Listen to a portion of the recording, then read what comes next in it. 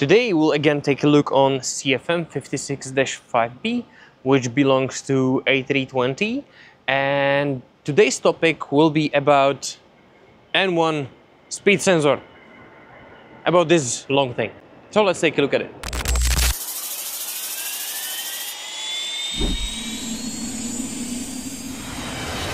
Here is our N1 shaft speed sensor and it goes all the way inside of the core and on N1 shaft you can find flywheel. Thanks to which the speed sensor know uh, how many uh, rotations uh, the shaft made. Uh, because on the flywheel you can find tooths and thanks to those tooths uh, those tooths interfere with the magnetic field of uh, of sensor. And thanks to that, uh, speed sensor know how many RPMs uh, has N1 shaft. So that's uh, one connector.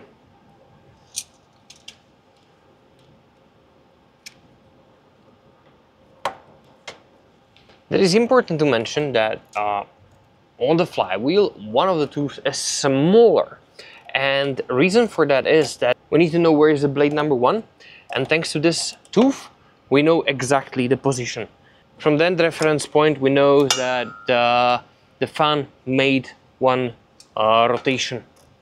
Okay, I need to pause the video and correct few informations which you already get from me. N1 sensor is inductive type of tachometer. It consists of three independent sensing elements which are magnetically and electrically insulated from each other. Each sensing element includes magnet, winding and pole piece. These sensing elements are hermetically enclosed in a stainless steel housing. The sensitive elements then transmit the signal through the conductors embedded in metal tube. As the next, I would like to talk about N1 shaft because we don't really have their flywheel. We have their sensor ring mounted on the fan shaft and on it we can find 30 teeth. We can find it here in front of bearing number 2. I just forgot to record it when I had a chance, so sorry for that. Now, regarding that one special tooth, it is thicker, not shorter, and uh, this tooth generates a signal of greater amplitude used as a phase reference for the trim balancing processed by engine vibration monitoring unit. And since I cleared that, we can continue in the removal. So we have channel A, channel B. And the third one is connection to engine vibration monitoring unit and we're talking about the channels of the FADEC. Yeah, so brain of the airplane communicate with, uh, with the speed sensor. So that's why we have so many connectors. Okay, uh, those that's our those are connectors. We need to also prepare a bucket because uh, it leads all the way to forward sump and uh, if you want to know what is forward sump, I made separate video about it. So link will be in description and uh, in uh, top right corner. So click on it or later on take a look and we'll continue with this. So connectors are protected on the cable and of course on the sensor as well.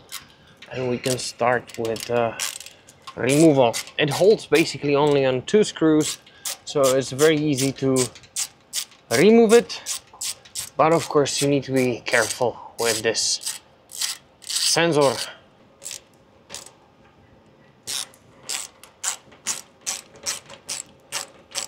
And it's slowly popping out.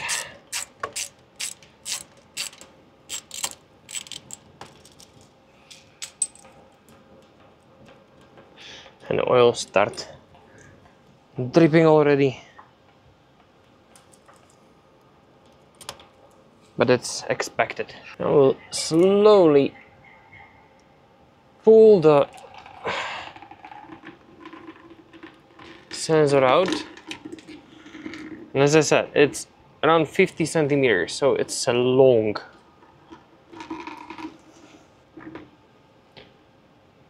Uh, and there you have it.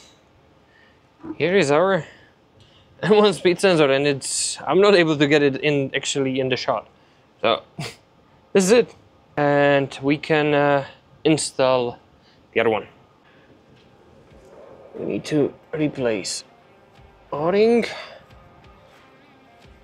So old one out, discard.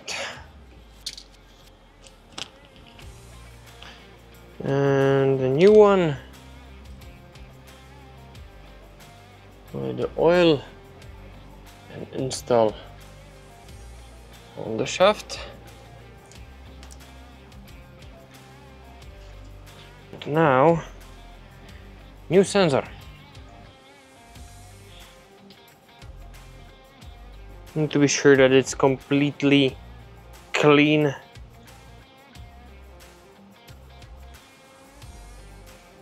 Nothing is allowed to have it on. And for that you should use a piece of tape. So, we'll try to remove everything what can remain on the magnetic tip because that can lead to misreading and once we are done with that we can proceed with installation let's push it in.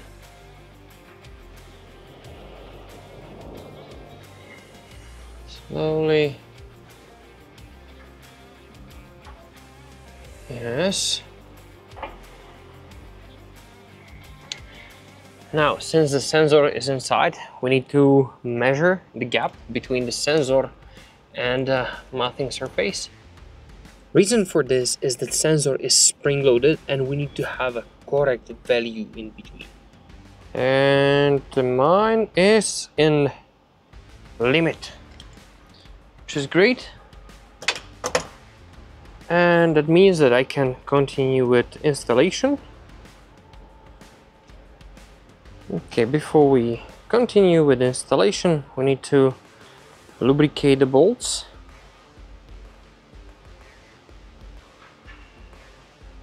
With um, graphite based uh, Vaseline. And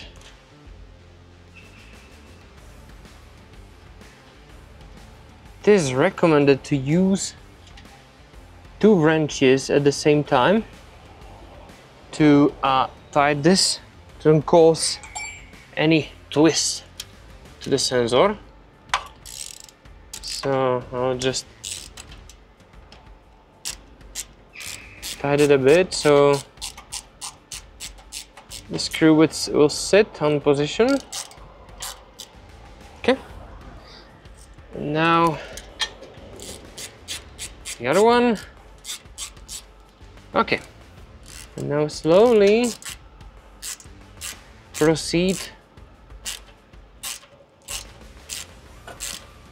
A few moments later. And in the end, torque it with a torque wrench.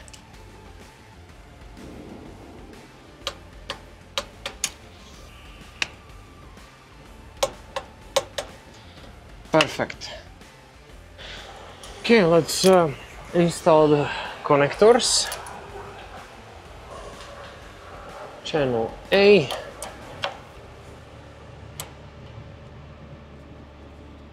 find the proper position, yes. Yep. Hmm. B.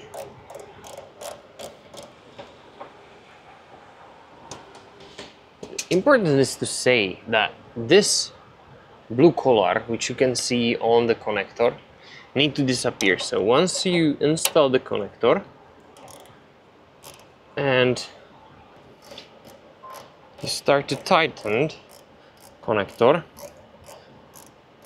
And this is important. Point. So the blue line disappear. So you already know that connector is more or less installed properly. And in the end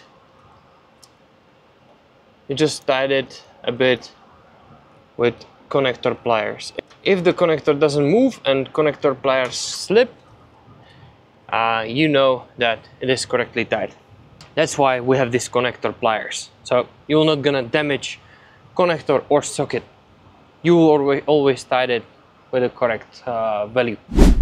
And since we perform everything outside, we can perform the test, which means that we need to make FADEC test with uh, motoring. I already prepared everything, so I need to wait.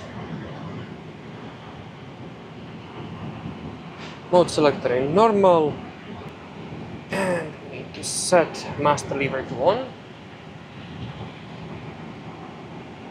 and test is in process.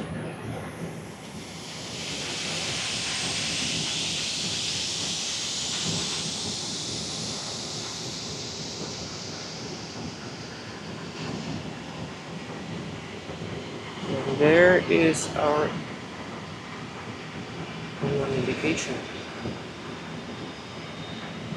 Perfect. Wait. No faults. Perfect. And master switch to off. We'll do the same procedure with uh, FADEC channel B. So we'll be sure that everything is as we want it. So again, mode selector in normal and master lever to on and we'll wait. testing process. Now, what is this test good for? Well, basically it will check the function of almost every component which is installed on the engine, which means that it will start to rotate and for that reason I need to have uh, my colleague outside who is actually my duplicate inspector and he's checking the surroundings. And for us the most important information is that N1 indication and since we made the test for both channels we are sure that the function is correct. Yes. We'll wait for result.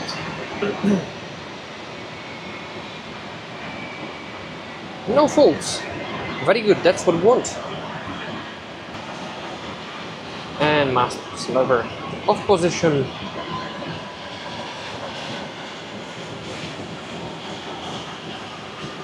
Can switch on the beacon. And this is more or less it about N1 shaft speed sensor. If you have any questions, as always, write now in the comments below. As always, I would like to ask you to don't use this as a replacement for a maintenance manual, but always use latest documentation released by manufacturer. Big thanks to Austrian Airlines that they let me record all those uh, videos for you. Big thanks to each and everybody who watched my videos and especially uh, the members. That's all from my side. My name is Tomáš, this is Recommend Maintenance with Zeto, and I'll see you on next video. Bye.